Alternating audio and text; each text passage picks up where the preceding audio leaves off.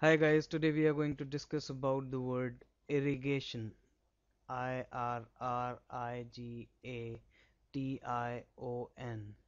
Irrigation. Now what does this word mean? Irrigation. In in a regular way if I say it simply means any manual or artificial inf interference in providing water in providing water to the plants is called as irrigation. When we say irrigation, it always have three parts. The first thing is the source of water. The source of water. The other thing is the means of water supply. The means of water supply. And the third thing is the point source the point source. And this point source is actually our plant or the fields or anything which contains the vegetation. So in other ways if I say this is my source of water this is my means of water supply and this is the point source.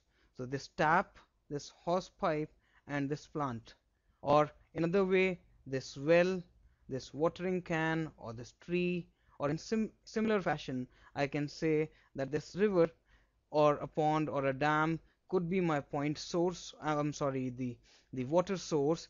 This canal system this canal system here you can see that there is a canal going on or a river going on and this is my canal and these are separate distributaries here which are which are giving water which are taking this water away to towards the field towards the field. This is my field here so this is the field or otherwise the landscapes. So in in in this way I can simply say irrigation means any manual or artificial interference in providing water to the plants. Any artificial interference in providing water to the plants is called as irrigation. Now what could be the sources of irrigation? In in simple way if I say there are several methods of irrigation methods of irrigation. Well we will discuss about this in great detail in our upcoming videos but uh, for limited knowledge if I say I, there are several methods of irrigation and the popular ones are drip irrigation drip irrigation. Here we use drop by drop. The water is being given to the plants drop by drop the other one is my surface irrigation the regular practice that we usually do or we are practicing since ages. So it has surface irrigation irrigation and other popular means are my sprinkler irrigation sprinkler irrigation. We use this nowadays we use these nowadays. Uh, and a very popular one which is just coming now it's a very new kind of a system which has just come up. It is sub irrigation system sub irrigation sub irrigation system. Here the water source or the way we are providing water to the plants is something which which is hidden which which is something which can we cannot see with the naked eye system. Okay? Here the plant is there and the the water is being provided below the land below the land directly to the roots directly to the roots. This is this is a this is a very new system which has uh, just been recognized by our scientists or the agriculture people there. Now the question arises is why irrigation is important? Why irrigation is important? Why is it? Why is it important? Now the thing is in in the older days in the ancient period the, the water used to have the rainfall was something which, which is very scarce. Or there were temporal variations there. For example we, we are about to sow the seeds we are about to sow the seeds in the field and there, there's no rainfall at all. Or, or the rainfall is much before or a few days ago. Uh, for example let us say we are about to sow the seeds on 1st of April let's say and uh, the rain is coming on 25th of February uh, by this time we haven't even purchased the seeds so it is not good. Or otherwise we have sown the seeds and we are waiting the farmer is still waiting uh, that the rain would come and it is not coming even till 10th of April. So the, these are the things or even it may be beyond that 10th of April maybe in May or maybe June or maybe uh, it could be a failure of monsoons totally failure of rainfall. So in such cases uh, the irrigation is important or other ways uh, if I can say it's unequal rainfall. At times it is flood. At times it is flood. I've chosen another color let me. Uh, flood or at times it is drought. Times it's drought. Or in other cases if I see uh, the increase in to increase in production and productivity to increase in production. Production and productivity. Productivity of my of my crop I require irrigation. Because uh, to have good amount of crop to have good amount of grains uh, I do require water. And it is not always necessary that the rainfall that I'm getting will provide enough water to increase my crops. Or other way could be uh, the, the, importance I can I can judge is uh, to increase the cultivable land as population is increasing.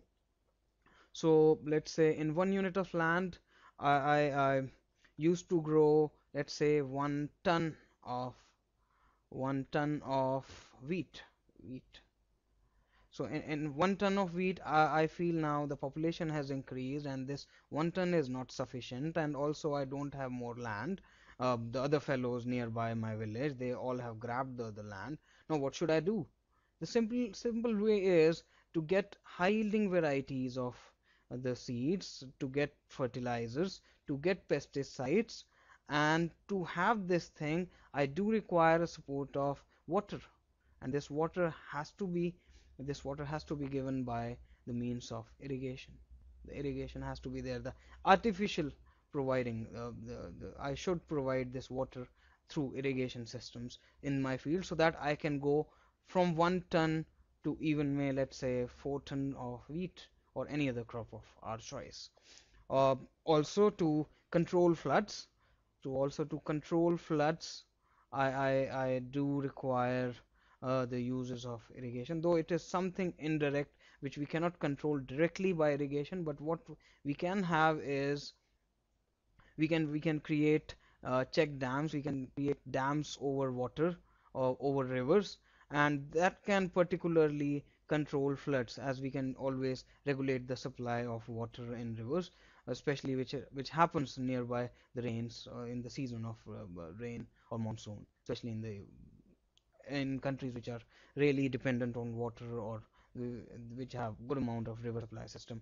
And also to increase the crop output also to increase the crop output the crop output uh, as we have already discussed about it the crop output we we do require irrigation system and this in turn always release the land which always release release the land for other uses. For example let's say in a country which is very small and with with with uh, uh, I can say let's say um, 1 lakh of population 1 lakh of human being residing there and the land was only this much of size and now due to certain circumstances or over the years this this human population becomes let's say 1.5 lakh 1.5 lakh human being. Now where uh, we'll settle this extra plus 0.5 for plus 0.5 lakh people where, where where will I settle? What I have to do is simply I'll go I'll increase the crop output and in this much of land in this much of land I'll grow the amount of uh, crops that I require the grains that I require and this remaining land and in this remaining land I will build the housing society. I don't require the agricultural support here. I will build the housing society here to support my this 0.5 population. So in this fashion I can say this irrigation is really necessary. I hope this was quite enough and quite understandable about the word irrigation and regarding this particular thing which I, which I have uh, said the methods of irrigation we'll be dealing in another videos. Thanks a lot. Have a good day ahead. Take care. Bye bye